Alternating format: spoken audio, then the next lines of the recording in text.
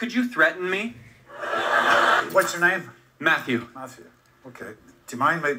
Can you turn the lights down, guys, or off? or Yeah, something? definitely. Yeah.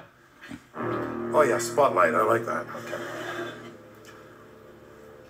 I want you to listen very carefully, Matthew. Before this night's over, I will kill you.